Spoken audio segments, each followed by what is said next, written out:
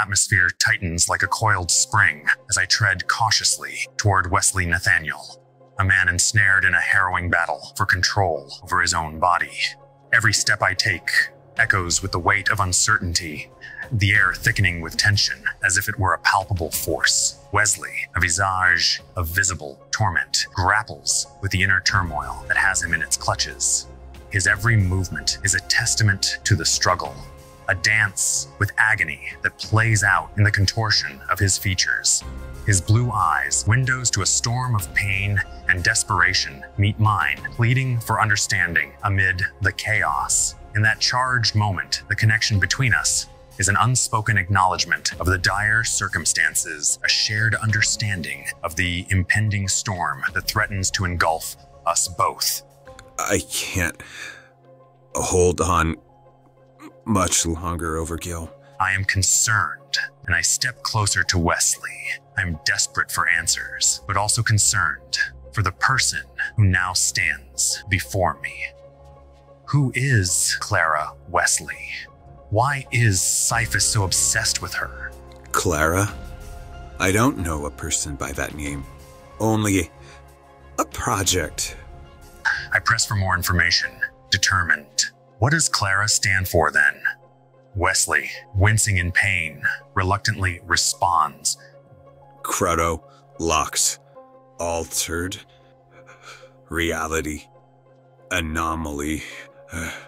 In a desperate plea for stability, Wesley's fingers close around my arm, his grip a frantic anchor, as if my presence is the only lifeline keeping him from being swept away by the tumult within.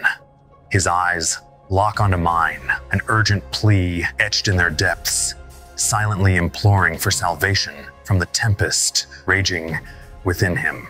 You need to stop Nelson at all costs. You're the, the only one who can.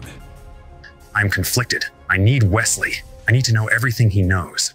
I need him as a witness. I have to urge him to come with me. Insistent.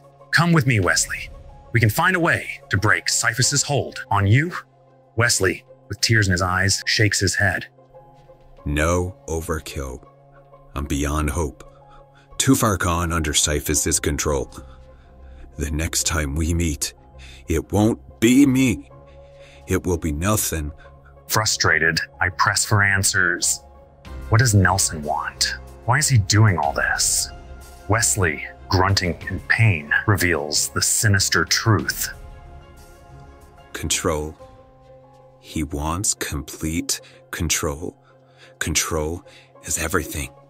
Control is power. The complete power is dominion panic fills those once vibrant blue eyes. It's a panic that transcends the immediate fear, one that mirrors the struggle of a drowning man, desperately grasping for a lifeline. I've witnessed such panic only once before the panic of a man on the brink of death, desperately clinging to life and hope. In the depths of Wesley's eyes, a fleeting moment of despair reveals itself, an image of a man caught in the throes of inevitable fate, as if gasping for a final breath. His eyes reflect the turmoil within, a silent plea for salvation. Yet, in that desperate struggle, there's a subtle shift. A tinge of red starts to reclaim those eyes, a stark reminder that Wesley is losing the fight against the relentless forces that bind him. The panic persists, an unspoken cry for help as the battle within Wesley intensifies and the grip of darkness tightens its hold on his fading essence. The missing people? Wesley. What happened to them? Wesley answers with tears streaming down his face, delivers a heartbreaking truth. They're gone. The only thing that remains is Project Clara. Run overkill. Never returned. There are no more answers here. I pivot swiftly, spurred by an urgent need to flee the unfolding chaos. The abrupt awareness of the missing people lands like a gut punch, leaving me momentarily reeling.